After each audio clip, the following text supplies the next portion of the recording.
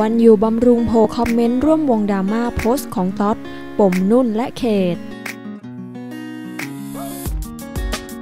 กลายเป็นเรื่องราวบานปลาย หลังจากที่อดีตพระเอกดังอย่างเขตฐานทัพ ได้ออกมาเปิดใจเรื่องราวความรักกับนางเอกร่วมช่อง ที่รักกันมานานถึง 7 ปี แต่ต้องเลิกลากัน ซึ่งหลายคนรู้ดีว่าเป็นนางเอกชื่อดังอย่างนุ่นวรนุชก่อนที่ต๊อดปิติพิรมพักดีสามีของนุ่นวรนุชได้ออกมาแชร์ข่าวของภรรยาที่มีการพาดหัวข่าวว่า เลือกคนไม่ผิด นุ่นตอบกับเขต หลังให้สัมภาษณ์ในรายการถึงความรักเมื่อ 10 ปีก่อน พร้อมกับแคปชั่นเด็ด ๆ ว่า เงินหมดสิเรา